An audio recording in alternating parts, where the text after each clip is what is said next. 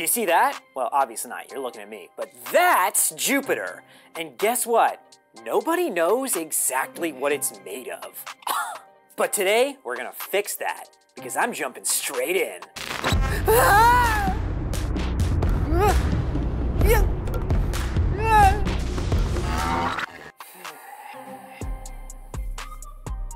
Would you like me to pull the information I have on Jupiter's composition? No, not, not now, Rico. Okay, so there are some things we do know about Jupiter. For example, the fact that it has five layers. Rico seems to think I won't make it past the third one, but I'm gonna prove that silly robot wrong. I mean, I have to, because once I get to that last layer, it's gonna make me rich, baby. Space rich. And all the while, I'll be filming some epic, never before seen footage for you guys. Nothing can go wrong. Ow.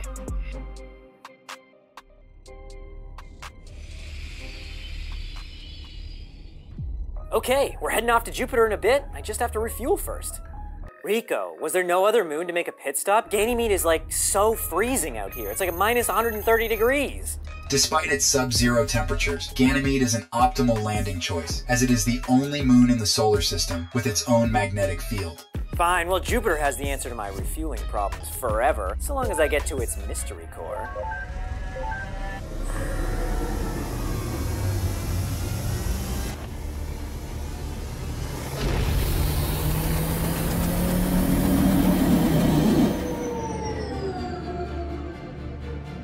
It's true that we don't know for sure what Jupiter's core is made of, but we do know that Jupiter is the largest and oldest planet in our solar system.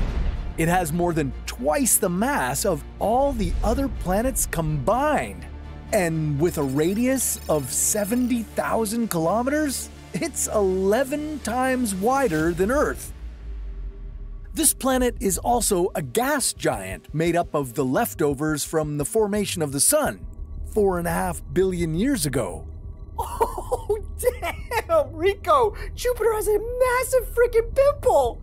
Let's land there. Warning, the Great Red Spot is a high-pressure anticyclone in Jupiter's atmosphere. Winds there reach speeds of 680 kilometers per hour.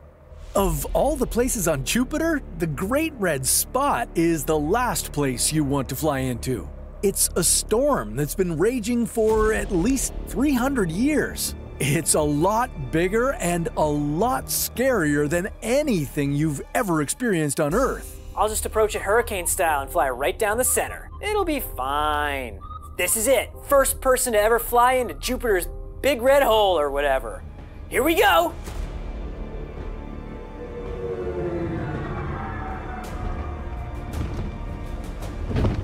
Warning, temperature rising rapidly. Atmospheric temperature over 1,300 degrees Celsius.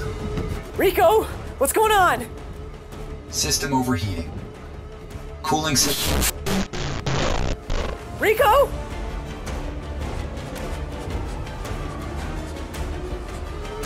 Rico, you know I don't like pranks. Stop messing around with me, man. This raging storm is so powerful, it creates sound waves that heat particles in the atmosphere and make this area a thousand degrees hotter than the surrounding atmosphere. So, if you land here, you can count on, well, some discomfort. Okay, okay, I can fix this. I can fix this. Um. Oh no, no, no, no, no! Oh gosh, okay. Um, these winds are way too strong. You know, if I close my eyes, it kind of feels like a roller coaster. I'm having fun. This is fun for me. Jupiter's clouds are mostly ammonia and water. Because the winds on Jupiter are so violent and flow in opposite directions, they shape the clouds into conveyor belts around the gas giant. Some of the clouds reach speeds of up to 500 kilometers per hour. Not that you can avoid them now, as you've already plummeted into the raging planet. Okay, wow, uh, it's so cold that uh, the ammonia is freezing into ice and hitting me in the face. cool. Ouch. Uh, Rico, please come back. If you come back, I promise I'll never be mean to you again. Huh? Oh, finally! Man, Rico, you can't just take a siesta in the middle of the day, okay? We're not in Spain. We're in space. Now propel me to the second layer of the atmosphere. idiot. Propulsion commenced. Oh, what is that smell? Rico, did you fart? Negative. Did I fart? Uh, no one passed gas. At hotter temperatures, the ammonia in the clouds combines with the sulfide compounds to create ammonia hydrosulfide, which smells a lot like rotten eggs. Oh god, it smells really bad in here, Rico. Maybe alien life does exist on Jupiter, except they all died a long time ago. Or maybe, maybe somebody hotboxed Jupiter with a bunch of burning trash. Ugh. No, it's just the ammonia hydrosulfide. Oh god, this sucks, Rico. Let's go to the next layer, quickly. Depth reading 200 kilometers below Jupiter's clouds. You are now in the outer interior. Atmospheric contents include hydrogen and helium. Oh, chilling with some pretty standard stuff then. Hydrogen, helium, one cool as hell guy. it's just getting a little uh, hot. Pressure reading 3039.75 bars. Temperature reading 1890 degrees Celsius. It's so hot in here. I take the suit off, but then I die, so no thanks. Not dying like that again. I don't know how much pressure my camera can take because it's like the air, it's getting all weird and and liquidy.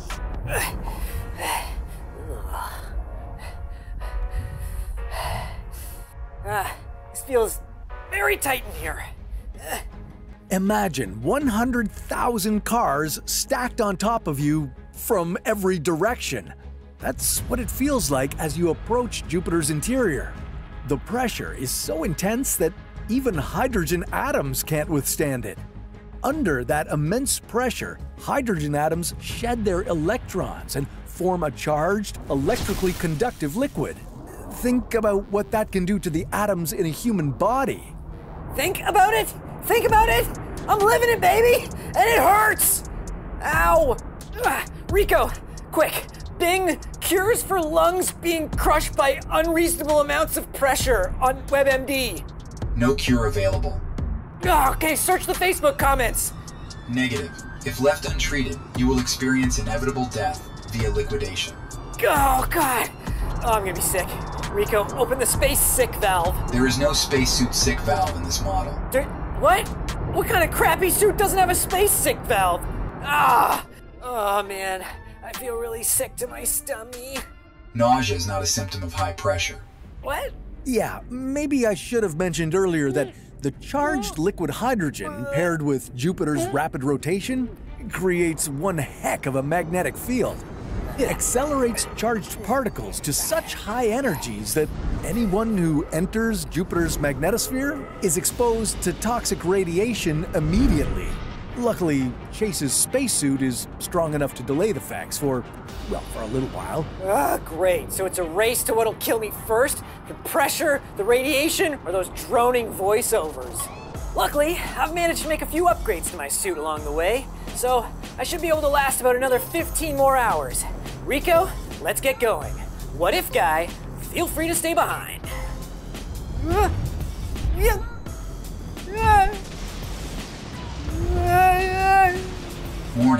You are entering uncharted territory. Wow, don't be mad, Rico, just because you thought I'd be dead at this point.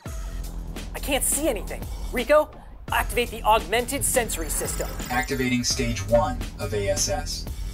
And this is why I decided to come here.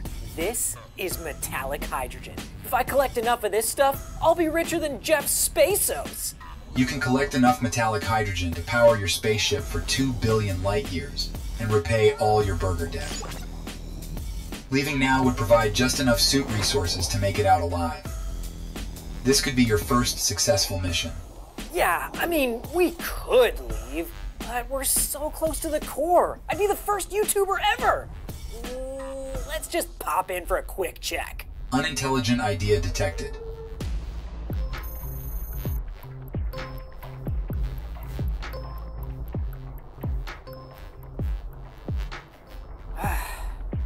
Ah, Rico, I'm so bored. Are we there yet?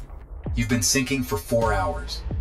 You have eight more to go. Oh, God, I'm so bad with time management. Also, you have less than nine hours of suit protection left. Well, I guess this is a good time to tell you guys to go like and subscribe. I'm trying to become the first YouTuber to explore all of space, so, you know, help your boy out. if you like and subscribe, we can go do more of these cool videos. Approaching the planet's core. Five minutes of suit protection remaining. Okay, gotta move fast. What do we got down here? Some sort of like crazy alien life or, or super weapon, maybe like a Stargator or like some crazy super material. Detecting ice, rock, and metal. Okay, that sounds like stuff you could find on Earth. Uh, maybe I need a second opinion. Jupiter's core was made over four and a half billion years ago during the creation of our solar system. Due to the extreme pressure and temperature, the core is not a kind of hard surface you might walk on. It's pretty liquid like. 30 seconds of suit protection remaining.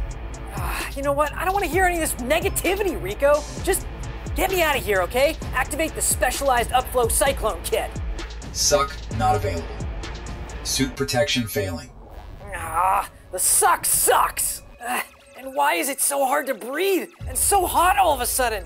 Your suit protection is now depleted. You are now experiencing a pressure of 43,090,032 bars and a temperature of 29,095 degrees Celsius. The intense conditions are quickly crushing your lungs. You know, you get crushed along with me, Rico.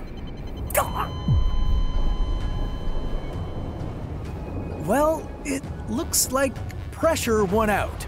But don't worry, Chase will be back.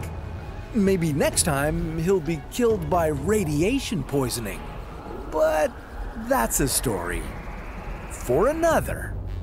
What if?